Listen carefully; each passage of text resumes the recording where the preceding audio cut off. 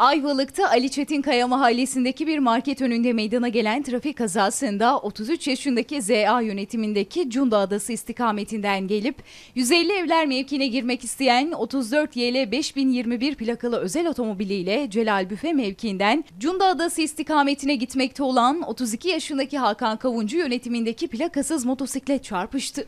Kazada özel otomobil sürücüsü ZA herhangi bir yara almazken motosiklet sürücüsü Hakan Kavuncu ağır yaralandı. Motosikletin arkasında bulunan Yusuf Eyüp Oğuzsa kazada hafif yaralandı. Olay yerine gelen 112 acil yardım ambulansıyla Ayvalık Devlet Hastanesi'ne kaldırılan ve alkollü oldukları iddia edilen yaralılardan Yusuf Eyüp Oğuz'un kazayı ufak sıyrıklarla atlattığı öğrenilirken motosiklet sürücüsü Hakan Kavuncu'nun ise durumunun ciddiyetini koruduğu belirtildi.